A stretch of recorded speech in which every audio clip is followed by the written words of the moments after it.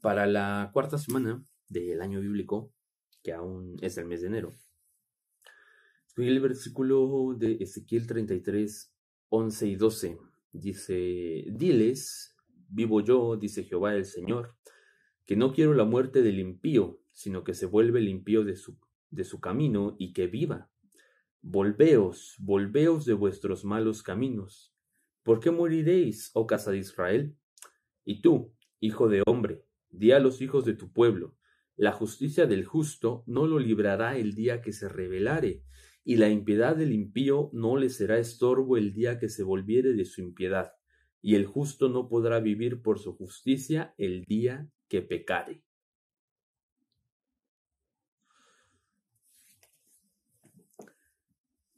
Hablando de este par de versículos, son, son la respuesta a una interrogante que se estaba haciendo el pueblo de, de Israel después de la destrucción de Jerusalén y de ver pues que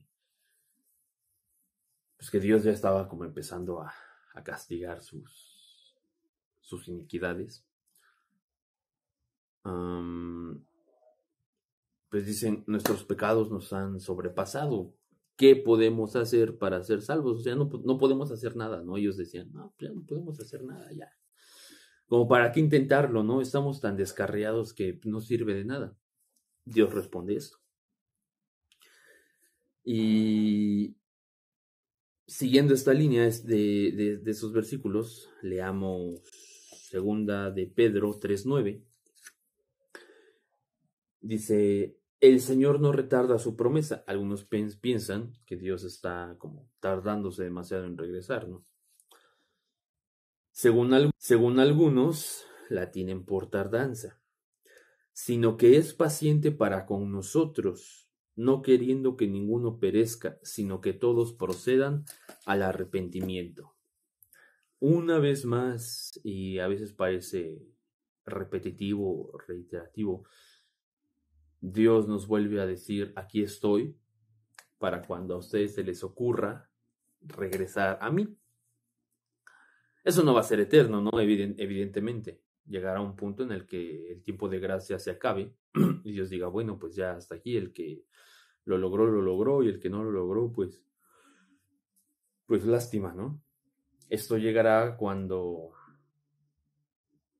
pues haya muchísima, muchísima, muchísima gente eh, conversa y clamando el nombre de Dios, ¿no? Desde lo profundo de sus corazones por tanto dolor, por tanto dolor que, y pecado que existirá en el mundo en esos días. No me gusta pensar en cosas tristes, ¿no? Pero bueno. de igual forma, esto es como referencia al versículo 11. Como referencia al versículo 12, tenemos segunda de Crónicas 7, 7.14. Si se humillare mi pueblo, sobre el cual mi nombre es invocado, y oraren y buscaren mi rostro, y se convirtieren de sus malos caminos, entonces yo oiré desde los cielos y perdonaré sus pecados y sanaré su tierra. Más claro no puede estar. Dios es presto para perdonar, tardo para la ira, como dice otro versículo en la Biblia, en la Biblia, y de igual forma es justo, justo para juzgar. Es por eso que Él nos juzga, no otra persona. Y Él te juzgará conforme a lo que hay en tu corazón y conforme a tus últimos días de vida. Ojo, no es para que hagas trampa, ¿no? Y digas, ¿sabes qué? Toda mi vida voy a ser un hijo de mi mamá y pues ya el último año que me quede de vida me convierto al cristianismo, al catolicismo, a la religión que tú quieras profesar y soy bueno. No funciona así. Todo debe ser un proceso y tan no funciona así que si tú toda tu vida vives apartado de Dios, pues no vas a tener esas ganas o ese, esa necesidad, ese sentimiento de ir tras él, ¿no? Eventualmente, porque pues, tu corazón va a estar frío, frío, frío, frío, frío, frío, frío. Y siempre estuviste rechazando ah, la influencia del Espíritu Santo. Entre cada que tú rechazas más la influencia del Espíritu Santo, te encierras más y tu corazoncito se cierra más y es más difícil volver. Siempre va a ser más difícil volver. Siempre que te partas un paso, pues estás más lejos. Lo bonito también es que funciona al revés. Siempre que tú te acercas un paso, siempre que avanzas un paso en la dirección correcta, estás más cerca de. Y es lo que Dios espera o quiere de ti. Que quizá no seas perfecto, porque pues no hay nadie perfecto en la tierra, ¿verdad? Sino que todos tus pasos vayan encaminados hacia ese punto. Entonces, bien, entonces, bien, tal vez no llegaste a la perfección que tú querías o que tú tenías visualizada, pero siempre tuviste a Dios en tu corazón y todos tus pasos fueron encaminados hacia Él. Siempre quisiste hacer lo justo, siempre fuiste dejando el pecado atrás. Dios te juzgará conforme a eso. Y viceversa. Si toda tu vida fuiste justo y fuiste bien buena onda, amante, benevolente, etc. Pero en un punto de tu vida te descarriaste y te empezaste a alejar, alejar, alejar, alejar, alejar. Dios te juzgará con esos tiempos finales de tu vida. No va a decir, ah, pues toda tu, su vida fue justo, ¿no? Ah, 20 pues, años de justicia, oh, muy buenos, ¿no? Pesan mucho. Pero pues ya sus últimos 15 años de maldad, pues nada, fueron 15, no importa. No, porque en el final, en el final, tú rechazaste todas tus creencias, toda tu, tu ideología, todo el amor que Dios había dado por ti, todas esas bendiciones, las rechazaste, las votaste. Y peor aún, tú conocías eso, Tú lo conocías desde el principio y no te importó dejarlo y cambiar de camino. Entonces Dios te juzgará también conforme a tus últimos días. Lo bonito del, versículo es que em,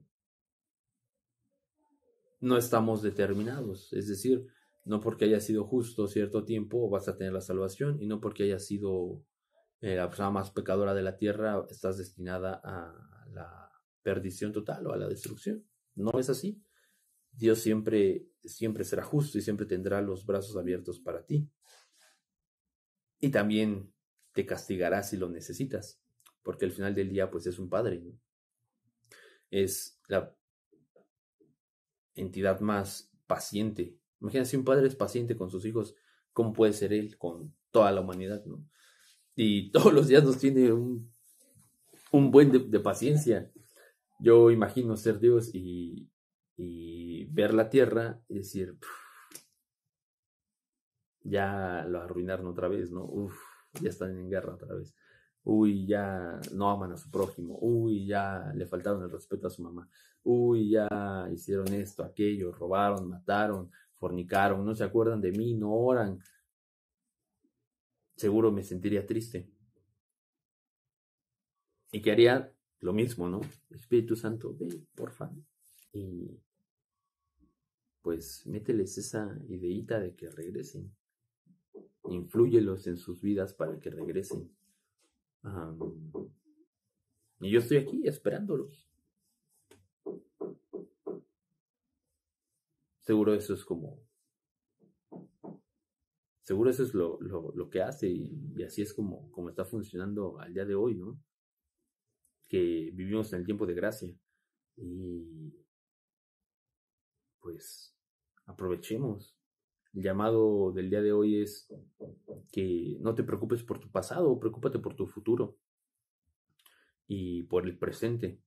Todas las acciones que hagamos en el presente, que es lo único que tenemos, no tenemos el futuro y no tenemos el pasado, todo lo que hagamos en el presente va a repercutir directamente allá en el futuro, en nuestra salvación, en nuestra vida, en nuestra carrera, en nuestra educación, en todo va a repercutir lo que hacemos el día de hoy. Y no te claustres pensando en, ay, es que soy muy malo, es que soy muy pecador, fui muy mal estudiante, fui muy mal hijo, fui, fui, fui, fui. No, preocúpate por cómo soy y cómo puedo ser. que pues, al final del día Dios lo que quiere, Dios lo que quiere es tu última versión, tu versión así súper mejorada, no la del principio, la más pecaminosa. Y dedícale tiempo, y dedícate tiempo a ti. Dedícale tiempo a los tuyos, dedícale tiempo a lo que quieres hacer y piensa siempre en que lo puedes hacer con ayuda de Dios y cristocéntricamente. No está peleada la ciencia con Dios, el estudio con Dios, los idiomas con Dios, el ejercicio con Dios, no. Al contrario, creo que poner todo eso en, en manos de Dios, como lo comentábamos ayer, pues es muchísimo más beneficioso. Entonces, rífense. Chao.